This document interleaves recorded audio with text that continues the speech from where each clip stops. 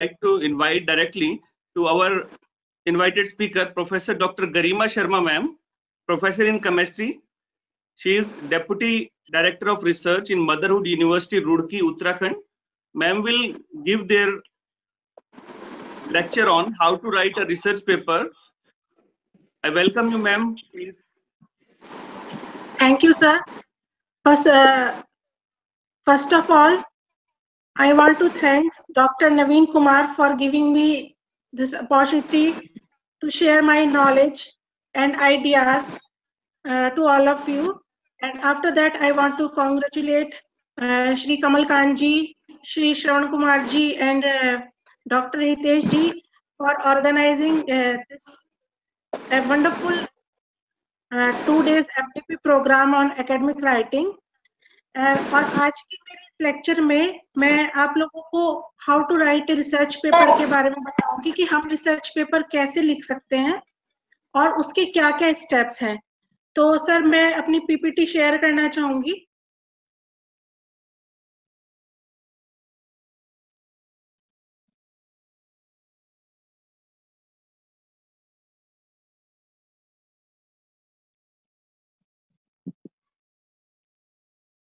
You presenter.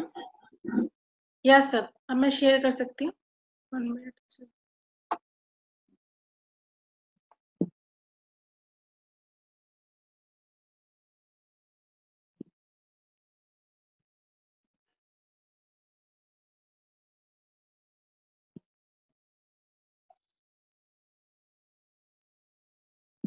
Ma'am, your screen is visible now.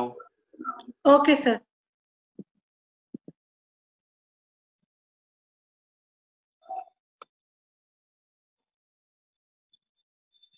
तो sir Hindi English mix या सिर्फ़ English में बोल सकते हैं कोई language? anyhow, uh, any language. Okay okay sir No, ma'am, mixed language will be okay. Yes, please. Okay sir तो आज के इस प्रोग्राम में दो दिन के एफडीपी प्रोग्राम में जो एकेडमिक राइटिंग पर रखा गया है उसमें सबसे पहले हमें पता होना चाहिए कि एकेडमिक राइटिंग क्या है। जैसे कि आप सब रिसर्च स्कॉलर्स हैं, कुछ असिस्टेंट प्रोफेसर हैं, कुछ प्रोफेसर हैं। तो एकेडमिक राइटिंग हमारे एक रिसर्च कैरियर का एक इंपॉर्टेंट पार्ट है।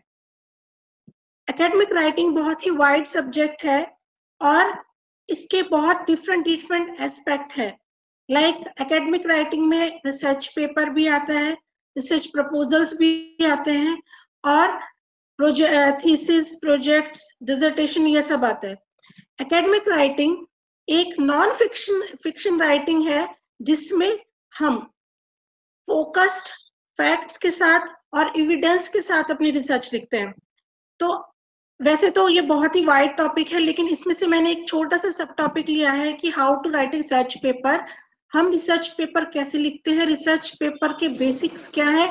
और रिसर्च पेपर के स्टेप्स क्या है जिसके जिसके गो थ्रू होके हम एक अच्छा हाई क्वालिटी का रिसर्च पेपर लिख सकते हैं।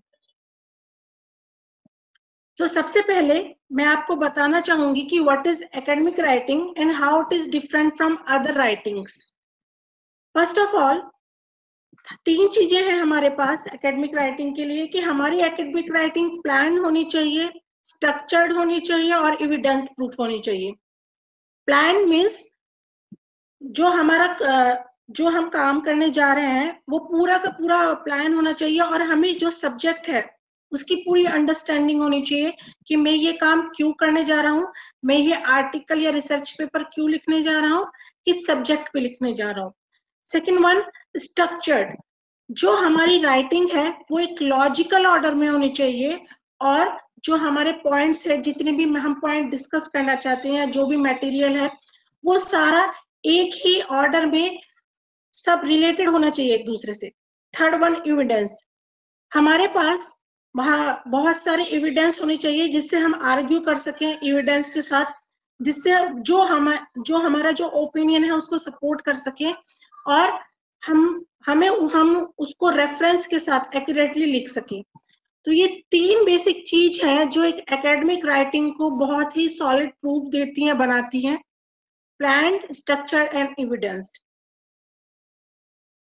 next is to write a research paper we need need to learn how we can write a good successful paper first first of all how to choose a topic हम एक topic कैसे choose कर सकते हैं? Second how to write a thesis और introductory statement. सबसे पहले, कोई भी रिसर्च पेपर लिखने से पहले हमें इंट्रोडक्शन देना पड़ता है। तो हमारा इंट्रोडक्शन कैसा होना चाहिए? Third one is understand the difference between plagiarism and acceptable plagiarism research paper लिखते हुए हमें प्लेजरिज्म के बारे में भी ध्यान रखना चाहिए कि कौन सा प्लेजर कौन सा टॉप एरिया जो हमारा पैराग्राफ है, वो प्लेजरिज्म की कैटेगरी में आता है और कौन सा प्लेजरिज्म की कैटेगरी में नहीं आता है। Fourth one is how to use parenthetical notation means जब हम पेरेंथेटिकल नोटेशन यूज़ कर रहे हैं तो उसको कैसे यूज़ करेंगे? And fifth one is bibliography format जब हम कोई रिसर्च पेपर लिख रहे हैं तो हमें एक प्रॉपर फॉर्मेट पता होना चाहिए। सबसे पहले तो हमें ये पता होना चाहिए कि किस जर्नल के लिए हम ये रिसर्च पेपर लिख रहे हैं।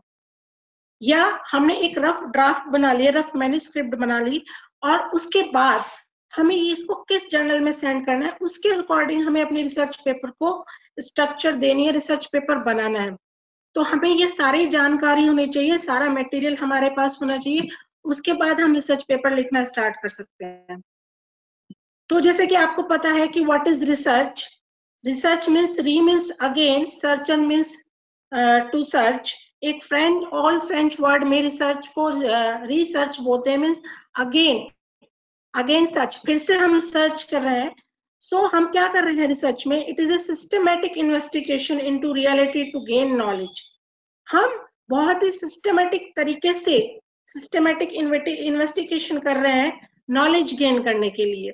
So this is called research और हम किसी जो पहले कोई रिसर्च हो चुकी है उस रिसर्च को फिर से आगे बढ़ा रहे हैं और आगे बढ़ाकर हम उसको रिसर्च गैप कहते हैं, जो रिसर्च हो चुकी है और जो हम रिसर्च करने वाले हैं और उसको आगे बढ़ाकर हम फिर से पिछले जो लिटरेचर रिव्यू है एविडेंस है, उसको बता रहे हैं और अपने आगे जो एविडेंस ले रहे हैं हम, उसको बता रहे हैं तो वो सब क्या है? वो रिसर्च है। Next is structure of research paper research paper कैसा होना चाहिए हमारा? वैसे तो तीन मेन पार्ट है रिसर्च पेपर के, तीन कंपोजिशन है इंट्रोडक्शन बॉडी एंड कंक्लूजन लेकिन कुछ और सब पार्ट्स है रिसर्च पेपर के, जैसे कि abstract introduction literature review methodology result discussion conclusion references और अपेंडिक्स सबसे पहले एब्स्ट्रैक्ट लिखने से पहले हमें टाइटल पता होना चाहिए कि मैं अपने रिसर्च पेपर का टाइटल ये लिख कर लिखने वाली हूँ, उसके बाद ऑथर्स का ऑथर का जो एफिलेशन है, वो भी हमें पता होना चाहिए कि ये फ़र्स्ट ऑथर होगा, ये कॉरेस्पॉन्डिंग ऑथर होगा, सारी कॉरेस्पॉन्डेंस यही करेंगे। और यह सेकंड ऑथर कौन होगा? और उसके बाद किस तरह से हम उस ऑथर का नाम लिखते हैं, ये मैं आपको बाद में बताऊँगी, मेरी इसी लेक्चर में। तो जो हमारा एब्स्ट्रैक्ट है, वो किस तरह से होना चाहिए? इंट्रोडक्शन लिटरेचर रिव्यू मैथोलॉजी ये सब किस तरह से होना चाहिए? ये हमें परफेक्टली पता हो, कोई भी रिसर्च पेपर लिखने से पहले। So now is the step-by-step -step procedure of the research paper. First one is abstract. Abstract जो है वो इंट्रोड्यूस कराता है रीडर्स रीडर को aim of the structure methodology and result and finding means अगर कोई रीडर uh, वो पूरा रिसर्च पेपर नहीं पढ़ता है वो सिर्फ़ एब्स्ट्रैक्ट पढ़ता है तो उसको उस एब्स्ट्रैक्ट के एब्स्ट्रैक्ट पढ़ने से उसको उस पूरे रिसर्च पेपर के बारे में पता चल पता चल जाना चाहिए कि इसमें ये क्या मतलब रिसर्च पेपर की स्ट्रक्चर क्या है, किस पर बेस्ड है, इसकी मैथोलॉजी इसमें क्या क्या यूज़ की गई है, इसके रिज़ल्ट क्या क्या है और इसकी फाइंडिंग्स क्या क्या है। तो एब्स्ट्रैक्ट एक पूरा संक्षिप्त रूप होता है रिसर्च पेपर का, जिससे हम, हमें एब्स्ट्रैक्ट को पढ़ के अंदाज़ा लग जाएगा कि ये रिसर्च पेपर हम इसलिए यूज़ मतलब हम अपनी रिसर्च में रख सकते हैं या नहीं। बाद एब्स्ट्रैक्ट के बाद हम लोग कीवर्ड्स लिखते हैं, जिसको, जो पाँच से छह होने चाहिए कीवर्ड्स उससे ज़्यादा कीवर्ड्स हमें नहीं लिखने चाहिए। और एब्स्ट्रैक्ट का जो जो नंबर ऑफ़ वर्ड्स है, वो 250 से 300 मैक्सिमम होने चाहिए एब्स्ट्रैक्ट में। वैसे भी हर जर्नल अपने अलग अलग तरह का वो वर्ड लिमिट्स देते हैं, लेकिन जो एक स्टैंडर्ड वर्ल्ड लिमिट्स है वो 250 टू 300 है एब्स्ट्रैक्ट के लिए। नेक्स्ट है इंट्रोडक्शन इंट्रोडक्शन में हमें एक क्लियर कट आइडिया होना चाहिए कि मैं किस पर्पज से मैं ये स्टडी कर रही हूँ और मेरी ये रिसर्च को मुझे सेटिस्फाई करना है रीडर्स को कि आप ये जो मैं रिसर्च कर रही हूँ कि उसका बैकग्राउंड क्या है और उसकी रिलेटेड थ्योरी क्या है, उसमें पहले क्या काम हो चुका है। और आगे मैं क्या करूँगी इसमें? तो इंट्रोडक्शन में मैं ये सब लिख दूँगी अपनी रिसर्च में रिसर्च पेपर में या अपनी थीसिस में। हमें इंट्रोडक्शन एक क्लियर कट व्यू होना चाहिए हमारे पास। नेक्स्ट है लिटरेचर रिव्यू जो लिटरेचर रिव्यू है, उसमें हमारा जो हम अपना लिटरेचर लेते हैं, वो ज़्यादा पुराना नहीं होना चाहिए। यानी कि कम से कम सिर्फ़ आप टेन इयर्स का लिटरेचर रिव्यू ले सकते हैं। ऐसे नहीं कि आप रिसर्च अभी 2020 में कोई रिसर्च पेपर लिख रहे हैं रिसर्च कर रहे हैं तो आपने 20 इयर्स बैक का सारा लिटरेचर रिव्यू ले रखा है, नहीं। आपको लेटेस्ट रिसर्च लेनी है, अपने टॉपिक से रिलेटेड आपको ये पता चल, करना है कि लास्ट टेन इयर्स में आपके रिसर्च से रिलेटेड क्या क्या काम हुआ है, कितना काम इसमें आगे बढ़ा है, और अभी क्या क्या संभावनाएँ हैं जो हम कर सकते हैं। तो लिटरेचर लिटरेचर रिव्यू बहुत ही हमें बहुत सावधानी से चुनना पड़ता है, क्योंकि लिटरेचर रिव्यू को हम रिसर्च पेपर में बाद में जब हम रेफरेंस लिखते हैं तो साइड भी करते हैं कि मैंने ये ये रेफरेंस लिया है, यहाँ से ये वाला काम किया है। तो literature review review is having important role in in research paper so आपको पूरा, आपके पास कम से कम एक रिसर्च पेपर लिखने के लिए ढाई सौ से तीन सौ रिसर्च पेपर होने चाहिए। पुराने लिटरेचर रिव्यू होना चाहिए, तब एक आप अच्छा रिसर्च पेपर लिख सकते हैं। Next one is methodology methodology भी एक इम्पोर्टेंट रोल प्ले करती है।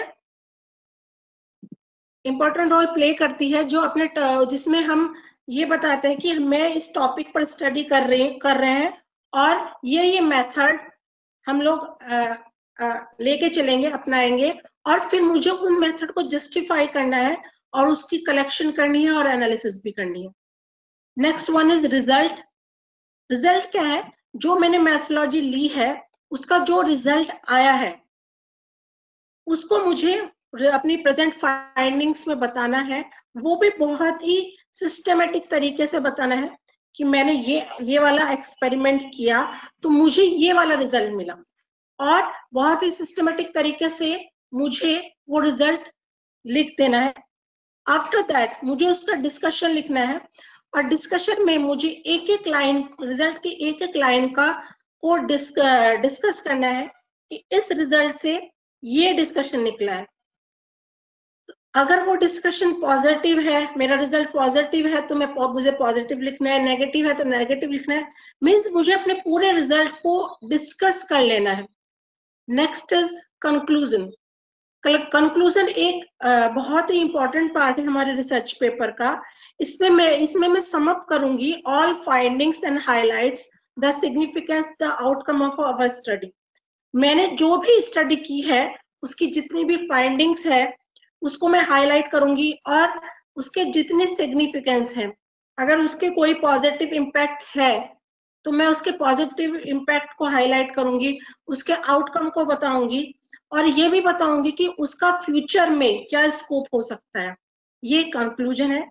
नेक्स्ट है। नेक्स्ट इंपॉर्टेंट पॉइंट है एक्नोलिजमेंट अगर आप किसी को एक्नोलेज करना चाहते हैं अपने रिसर्च में तो आप वहाँ उनको एक्नोलेज कर सकते हैं।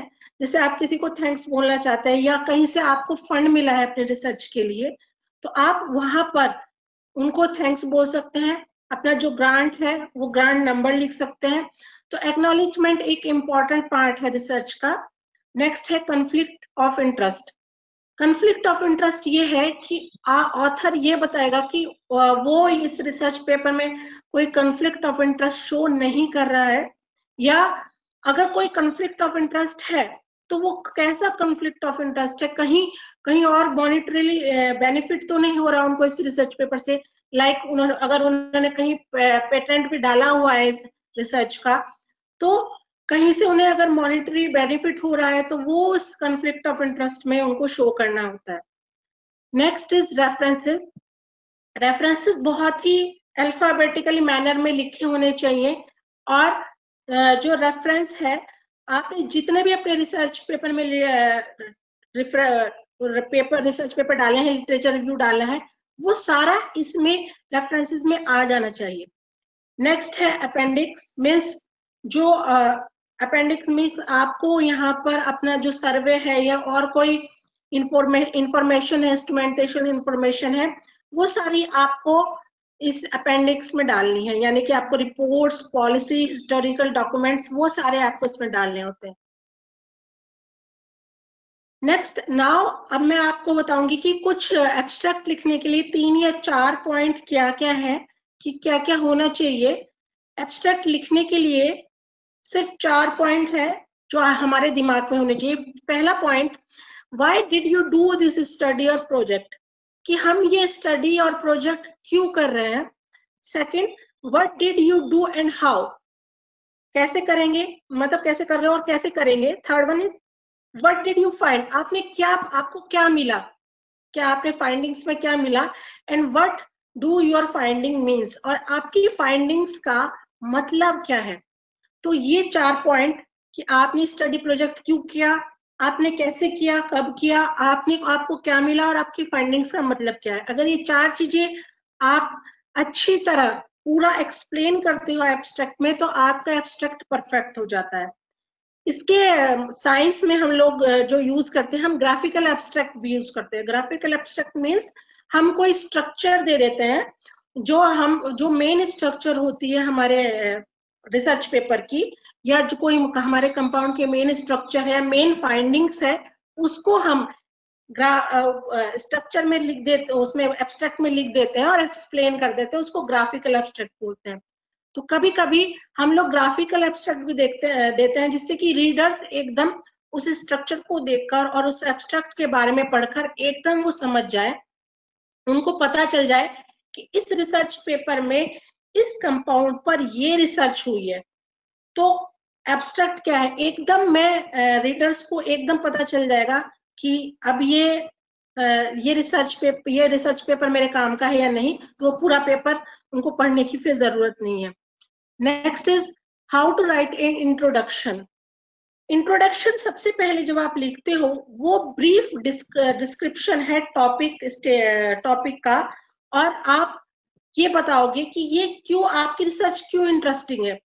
और आप research statement of the research objectives आपके जो रिसर्च के ऑब्जेक्टिव हैं, आप उसको भी बताओगे कि आपका मेन ऑब्जेक्टिव क्या है? और आपका स्टेटमेंट ऑफ़ मेथड क्या है, वो थोड़ा सा आप इंट्रोडक्शन में दोगे। And after that the scope of study study का स्कोप क्या है फ्यूचर स्कोप क्या है? और थोड़ा सा ओवरव्यू दे दोगे आप रेस्ट ऑफ़ द पेपर का। लेकिन आपको यहाँ पे ब्रीफ डिस्कशन देना है कि ऐसा नहीं कि आपने दो पेज का इंट्रोडक्शन लिख दिया।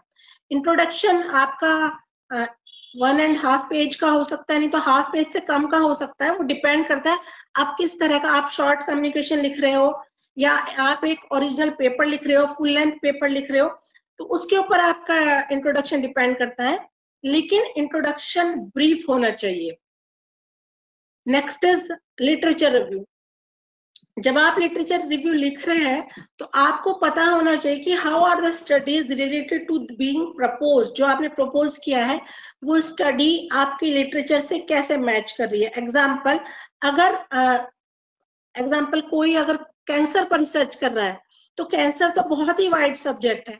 अब कैंसर में, आप कौन से कैंसर पर रिसर्च करना चाहते हैं? आपने अगर कुछ लाए कुछ लिटरेचर कैंसर का ले लिया कॉमन कैंसर का, लेकिन आप अपना जो आपकी स्टडी है, आप उसमें लंग कैंसर के बारे में बता रहे हो तो आपको स्पेसिफिकली लंग कैंसर के लिटरेचर रिव्यू ही सर्च करना है। आप दो तीन पेपर तो कैंसर के कॉमन ले सकते हो, लेकिन आपका literature review basically lung cancer पर ही होना चाहिए। ऐसे ही आपका सोशल साइंसेज है मतलब अगर आप वुमेन एम्पावरमेंट के बारे में कोई रिसर्च पेपर लिखना चाहते हैं और रिसर्च टॉपिक लिखना मतलब रिसर्च आर्टिकल लिखना चाहते हैं तो आपका जो लिटरेचर रिव्यू है जो आप किया है आपने तो वो एक फोकस होना चाहिए। कि आ, मतलब ये नहीं कि आपने कॉमन एक जर्नल टर्म यूज़ कर ली उसमें और जर्नल बता दिया। वो should be precise and focus और उसके बाद what is the quality of the studies reviewed आपकी जो, आप जो रिव्यू लिटरेचर रिव्यू ले रहे हैं, उसकी क्वालिटी क्या है? मतलब उस पर कैसा काम हो चुका है? क्वालिटी वो एक वो लो क्वालिटी का मटेरियल है या हाई क्वालिटी का मटेरियल है? या एवरेज क्वालिटी का मटेरियल है? ये सब आपको सोचना पड़ेगा, देखना पड़ेगा। अब सबसे पहले तो आपको लिटरेचर व्यू ही पढ़ना है। कलेक्ट करके उसको पढ़ना है आपको और उसके बाद आपको अपना रिसर्च पेपर लिखना स्टार्ट करना है। जैसे कहते हैं कि खाना बनाने से पहले हम सब सारा कच्चा मटेरियल जो कच्चा सामान है, वो रख लेते हैं। उसके बाद हम खाना बनाना स्टार्ट करते हैं। तो इसी तरह ये रिसर्च पेपर लिखना है कि हमें सबसे पहले अपना रॉ मटेरियल तैयार कर लेना चाहिए। Next is how will the propose study contribute to the existing literature कि जो हमने स्टडी प्रपोज की है, वो इस लिटरेचर एग्जिस्टिंग जो लिटरेचर है, वो कैसे कंट्रीब्यूट कर रही है, आपको ये भी देखना है। नेक्स्ट इज़ मैथोलॉजी जैसे कि आपको पता है कि मैथोलॉजी एक इंपॉर्टेंट पार्ट है हमारे रिसर्च पेपर का। सबसे पहले जो भी हम मेथड्स यूज़ कर रहे हैं, जो भी हम रिसर्च मेथड ले रहे हैं, वो जस्टिफाई होने चाहिए और उसका, वो उसकी अप्रोच क्या है, हमें अप्रोच भी बताना है कि मैं ये मेथड यूज़ कर रहा हूँ, ये मेरी अप्रोच है और मुझे उसका जस्टिफिकेशन देना है कि क्यों मैं ये मेथड यूज़ कर रहा हूँ और ये कि किस लिए ज़रूरी है। और फिर उसके बाद मैं डाटा कलेक्शन कैसे करूँगा और एनालिसिस कैसे करूँगा। मुझे पूरा का पूरा जस्टिफिकेशन देना है अपने मेथड्स के बारे में। Next is result and discussion result discussion भी एक इंपॉर्टेंट पार्ट है। वो रिज़ल्ट एंड डिस्कशन पूरा क्या होना चाहिए? वो फोकस्ड होना चाहिए। ऐसा नहीं कि मैं रिज़ल्ट बताते बताते मैं कुछ और डिस्कस करने लगी। It should be precise brief and focused और इसके बाद जब हम जो कंक्लूजन लिखते हैं, वो समअप होना चाहिए हमारी ऑल फाइंडिंग्स का। और उसमें मुझे सिग्निफिकेंस बताना है कि मेरी ये फाइंडिंग है, इसका सिग्निफिकेंस ये है। नेक्स्ट इज़ एक्नॉलेजमेंट मैं आपको पहले से ही बता चुकी हूँ कि एक्नॉलेजमेंट एक बहुत इंपॉर्टेंट पार्ट है हमारे रिसर्च पेपर का।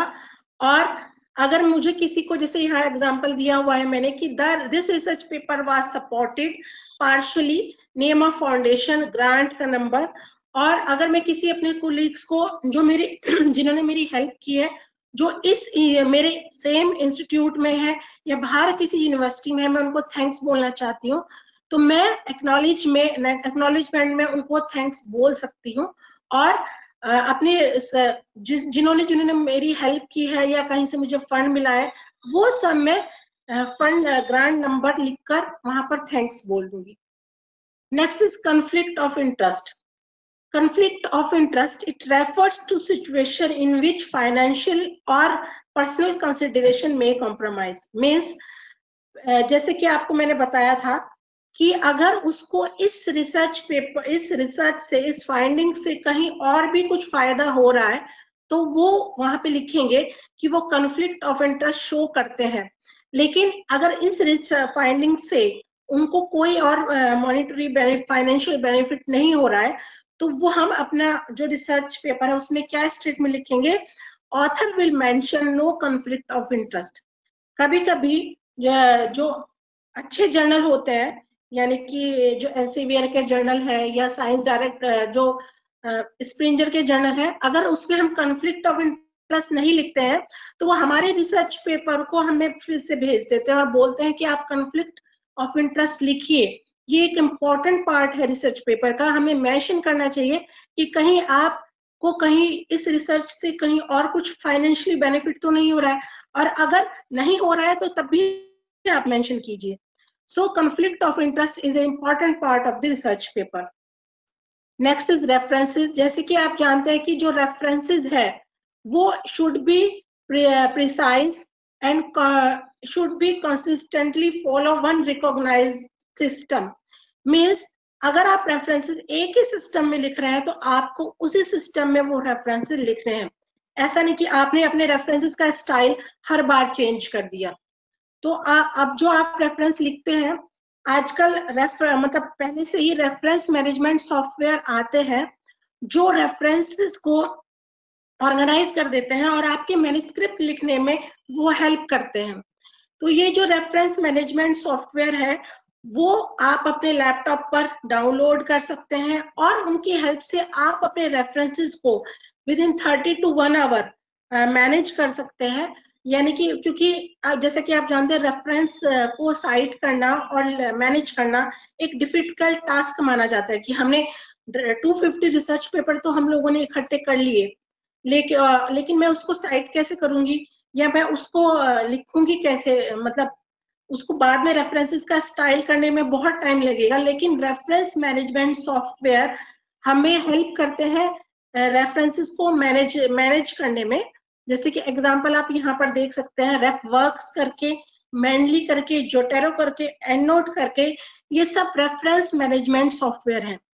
सो so, जो मैं ज़्यादातर मेरी जो रिसर्च है उसमें मैं जो अपने वर्कशॉप्स कराती हूँ तो उसमें मैं रेफरेंस मैनेजमेंट सॉफ्टवेयर के बारे में वर्कशॉप्स कराते हैं जैसे मैंडली जोटेरो एंड नोट और रेफ वर्क्स के बारे में जिसमें हम बताते हैं कि रेफरेंस हम रेफरेंसेस को कैसे मैनेज कर सकते हैं? या फिर आपको फिर से अगर रीसबमिशन करना है अपने मैन्यूस्क्रिप्ट का और रिवीजन करना है तो फिर से आपको रेफरेंसेस चेंज करने पड़ेंगे और रीफॉर्मेट करने पड़ेंगे। तो ये सॉफ्टवेयर उसमें हेल्प करते हैं।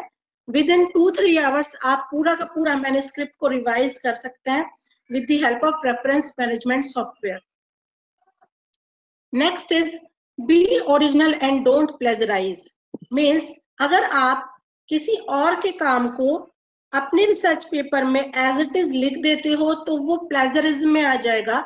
और अगर, और आप उसको एक्नॉलेज भी नहीं कर रहे हो, सिर्फ़ एज इट इज़ आपने लिख दिया और उसको एक्नॉलेज नहीं किया तो वो प्लेजरिज्म है। और जैसा कि आप जानते हैं कि प्लेजरिज्म मीन्स एकेडमी का मतलब होता है एकेडमिक चोरी कि हमने एकेडमिकली किसी और के आइडियाज़ को अपने रिसर्च पेपर में लिख लिया, चोरी की है तो उसके लिए हमें बहुत ही सख्त सजा है प्लेजरिज्म की, जैसे आप जानते होंगे। छह महीने की जेल भी है प्लेजरिज्म के लिए। तो आपको अगर आप रिसर्च पेपर लिख रहे हो और आपको किसी का कोई कुछ मेंशन भी करना है, कोई पैराग्राफ मेंशन करना है कि उनका कुछ आइडियाज़ लेने हैं तो आपको उनको एक्नॉलेज करना है। जैसे कि टेबल्स है फिगर्स ग्राफिक्स इन सबको आपको एक्नॉलेज करना है और आपको बताना है कि इस राइटर ने इस ईयर में ये वाला काम किया है, ये टेबल मैंने वहाँ से ली है। और अगर आप वो पेंशन नहीं भी कर पा रहे हैं तो एक एक होता है पैराफ्रेजिंग पैराफ्रेजिंग मीन्स आप उस पैराग्राफ आप उसको, उस पैराग्राफ को थोड़ा सा चेंज कर सकते हैं, जिसको हम बोलते हैं non plagiarise paraphrase paraphrase is the act of presenting another work in और इंटू और ideas into own work means but आप क्या करोगे? जैसे यहाँ पे दो मैंने एग्जांपल दिए हुए हैं प्लेजरिज्म और नॉन प्लेजराइज्ड पैराफेज का. सो so, प्लेजरिज्म क्या है कि अगर मैंने किसी का किसी का जो काम है वहाँ से डायरेक्ट पूरा पैरा ले लिया और वो मैंने डायरेक्ट कोट कर दिया अपने रिसर्च में तो वो हो गया प्लेजरिज्म नेक्स्ट है अगर मैंने वही पैराग्राफ को लेकर उसकी लैंग्वेज को चेंज कर दिया सेम बात मैंने बोली लेकिन उसको चेंज कर दिया। उसका पूरा पैरा उसका पूरा पैराग्राफ ही चेंज कर दिया तो वो नॉन प्लेजराइज पैराफेज हो जाएगा। जैसे कि यहाँ पे एक एग्ज़ाम्पल देख सकते हैं। तो हम लोग ऐसे यूज़ कर सकते हैं, लेकिन अगर हम डायरेक्टली किसी रिसर्च को कोट कर रहे हैं तो हमें उसको एक्नॉलेज करना ही पड़ेगा अपने रिसर्च पेपर में। अब नेक्स्ट है फॉर्मेटिंग योर रिसर्च पेपर आपके रिसर्च पेपर की फॉर्मेट क्या होनी चाहिए? फ़र्स्ट है मॉडर्न लैंग्वेज एसोसिएशन। ये एक नॉन फिक्शन लैंग्वेज वो है फॉर्मेट है, जो ज़्यादातर एकेडमिक इंस्टीट्यूशन या स्कूल्स या डिपार्टमेंट्स या इंस्ट्रक्टर्स हैं, वो बताते हैं। नेक्स्ट है APA format American psychological association का फॉर्मेट है। ज़्यादातर रिसर्चेज में हम एपीए फॉर्मेट ही यूज़ करते हैं। कुछ साइंटिफिक मेथड्स रिसर्च पेपर में भी हम एपीए फॉर्मेट यूज़ करते हैं। लेकिन मुझे, जहाँ तक जो साइंस के रिसर्च पेपर है या साइंस के जर्नल्स है, सबका अपना अलग अलग फॉर्मेट होता है कि आपको इस फॉर्मेट में लिखना है। जैस, क्योंकि जब आप किसी जर्नल के लिए कोई रिसर्च पेपर तैयार कर रहे हैं तो सबसे पहले आप क्या करोगे? सबसे पहले आप उस जर्नल जो जर्नल है, उसकी ऑथर की गाइडलाइन को पढ़ेंगे। और आपको वहाँ से पता चल जाएगा कि ये जर्नल की क्या डिमांड है, ये क्या क्या चाहता है, इसके रेफरेंस कैसे होने चाहिए, इसका मैन्युस्क्रिप्ट का टाइप कैसे होना चाहिए, क्योंकि कुछ जर्नल्स क्या करते हैं, वो मैन्युस्क्रिप्ट में मैथोलॉजी बाद में आती है रिज़ल्ट डिस्कशन कंक्लूजन पहले आ जाता है मैथोलॉजी को सबसे लास्ट में लिखवाते हैं। और उनके रेफरेंसेस भी अलग होते हैं एक जर्नल के दूसरे जर्नल से। जैसे कि अमेरिकन केमिकल सोसाइटी है, जिसको एसीएस बोलते हैं, उनका अपना अलग फॉर्मेट है। जैसे टेट्राहेड्रॉन एक जर्नल है, उसका अपना अलग फॉर्मेट है। तो जितने सब जर्नल हैं, उनके अपने अलग अलग फॉर्मेट हैं तो आपको ये पता होना चाहिए कि आपको ये अपना पेपर इस जर्नल में सबमिट करना है और उस जर्नल में सबमिट करने के लिए पेपर आपको उसके सारे के सारे इंस्ट्रक्शंस पता होने चाहिए। क्लियरली क्लियर कट सिनॉप्सिस होना चाहिए आपके दिमाग में कि आपको इस तरह से अपना रिसर्च पेपर या मैन्युस्क्रिप्ट को रेडी करना है। नेक्स्ट है एसोसिएशन फॉर कंप्यूटर मशीनरी जिसको एसीएम फॉर्मेट बोलते हैं। ये सबसे ओल्ड और साइंट, जो साइंटिफिक इंटरनेशनल साइंटिफिक कम्युनिटी है कंप्यूटर साइंस में उसका फॉर्मेट है। और इसके खुद के जर्नल्स हैं और ये खुद की खुद का फॉर्मेट है जो हम जो प्रो जो हम प्रोसेडिक्स और जर्नल्स में यूज़ करते हैं। नेक्स्ट है कि अब हम ये, मुझे, मैं आपको ये बताना चाहती हूँ कि कैसे एपीए गाइडलाइन और एमएलए गाइडलाइन में डिफरेंस है, वो किस तरह से एक दूसरे से डिफ्रेंशिएट करती हैं। वैसे तो लगभग थोड़ा थोड़ा सेम ही है, जैसे कि आप यहाँ पे देख सकते हैं फॉन्ट फॉन्ट एमएलए गाइडलाइन में भी 12 पॉइंट है इजीली रीडेबल होना चाहिए एम्स न्यू रोमन ले सकते हैं। लेकिन एपीए गाइडलाइन में जो फॉन्ट है वो ट्वेल्व पॉइंट और टाइम्स न्यू रोमन ही होना चाहिए। जैसे कि स्पेस एमएलए गाइडलाइन में डबल स्पेस है थ्रू आउट द मैन्युस्क्रिप्ट और उसमें भी डबल स्पेस है। Alignment of text flush left इसमें भी फ्लश लेफ़्ट है। तो जो ज़्यादातर मतलब एक दूसरे की जो गाइडलाइन है वो मिलती जुलती ही है। थोड़ा बहुत चेंजेस है। जैसे कि आप पेपर का स्टैंडर्ड साइज़ उनका पेज मार्जिन भी सेम है स्टैंडर्ड साइज़ में थोड़ा सा डिफरेंस है।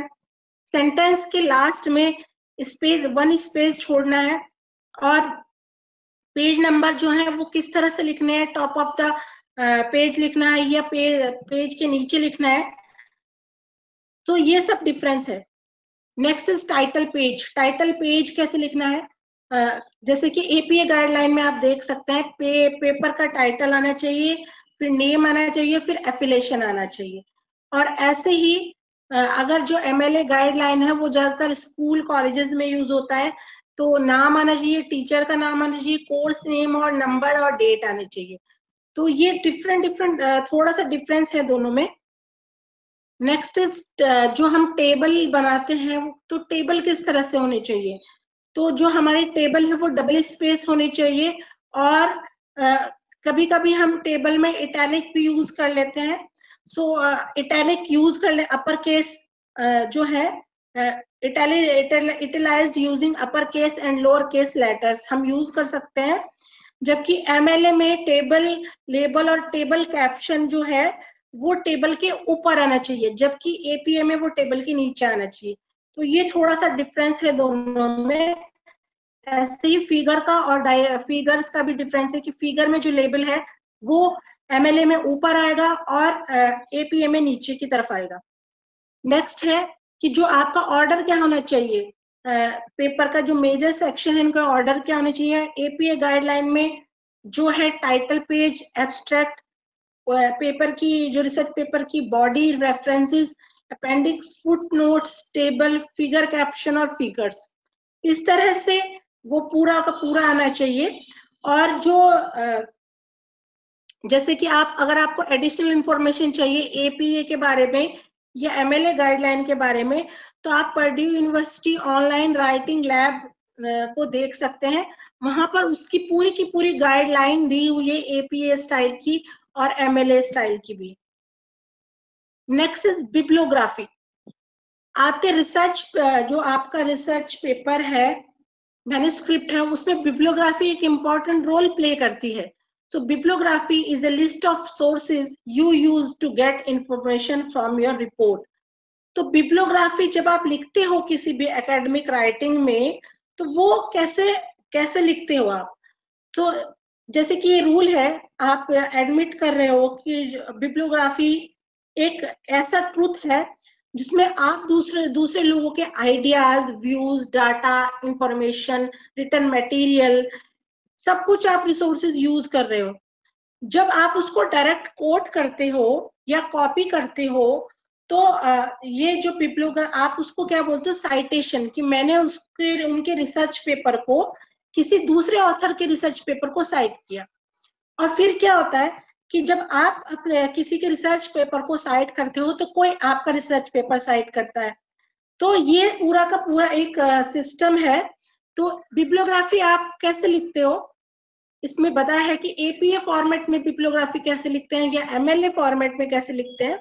जैसे कि बुक्स के बुक्स का आप एग्जांपल ले सकते हैं हम लोग कि एपीए फॉर्मेट में जब हम कोई बुक्स बुक्स का रेफरेंस या बिब्लियोग्राफी लिख रहे हैं तो वो कैसे लिखेंगे? ऑथर का लास्ट नेम आएगा, फिर उसका फ़र्स्ट इनिशियल आएगा पब्लिकेशन डेट आएगी बुक का टाइटल फिर एडिशनल इंफॉर्मेशन अगर कोई है बुक के बारे में सिटी ऑफ़ पब्लिकेशन की कहाँ से आपकी जो बुक वो है पब्लिकेशन वो पब्लिश हो रहा है और पब्लिशिंग कंपनी कौन सी है? तो ये पूरा का पूरा आप एपीए फॉर्मेट में है, जबकि एमएलए फॉर्मेट में क्या है? ऑथर का last name first name book title. इसमें बुक टाइटल पहले आ रहा है। एडिशनल इंफॉर्मेशन बाद में है। City of publication publishing company और पब्लिकेशन डेट सबसे लास्ट में है।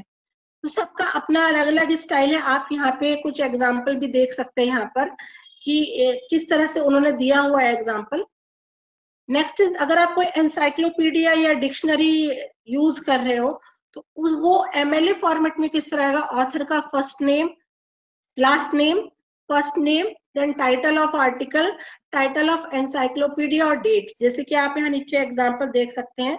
ये ऑथर का फ़र्स्ट लास्ट नेम है, ये फ़र्स्ट नेम है। फिर आर्टिकल का टाइटल और एनसाइक्लोपीडिया अमेरिकाना 1991 एडिशन तो ये, इस तरह से एपीएफ फॉर्मेट में ऑथर का last name first initial title of article title of encyclopedia उसमें हमें वॉल्यूम और पेजेस भी बताने हैं और सिटी ऑफ़ पब्लिकेशन और पब्लिशिंग कंपनी तो ये पूरा का पूरा हमें बताना है। Next is magazine and news newspaper article अगर आप न्यूज़पेपर या मैगजीन के किसी आर्टिकल का, को साइट कर रहे हो तो आप कैसे लिखोगे? ऑथर का एमएलए फॉर्मेट में author last name first name article title periodical title volume, date inclusive page. जैसे कि आप यहाँ नीचे एग्जांपल दे सकते हो एग्जांपल भी दिए हुए हैं मैंने।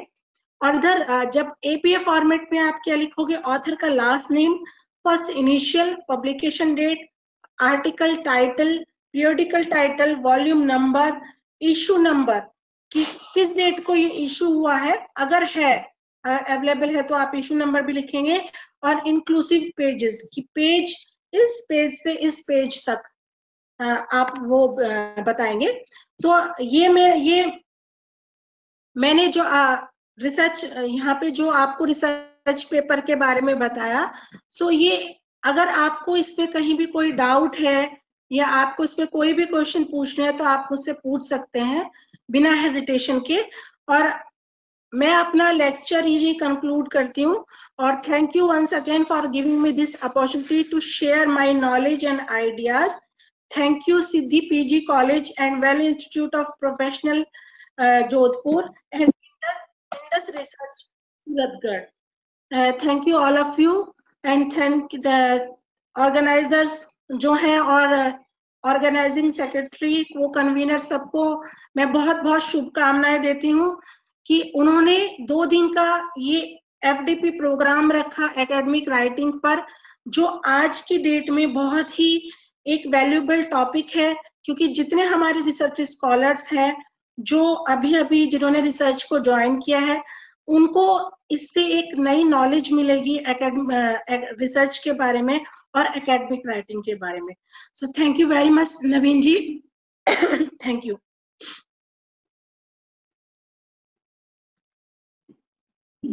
Thank you, Garima ma'am. It's really a very wonderful presentation.